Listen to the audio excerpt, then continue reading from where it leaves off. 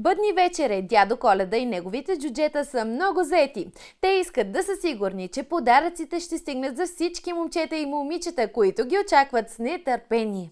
А искаш ли и ти да вземеш участие в най-вълнуващото събитие в края на годината – разнасянето на коледните подаръци за децата?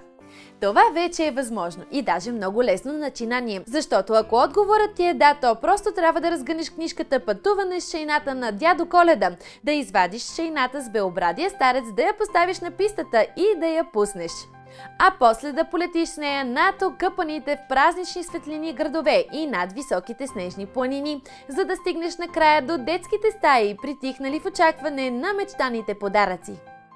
И така последва и дядо Коледа, който лети в мразовитото нощно небе и разнася подаръци за децата на бъдни вечер с уникалната занимателна книжка с играчка шейна плюс 4 писти пътуване с шейната на дядо Коледа.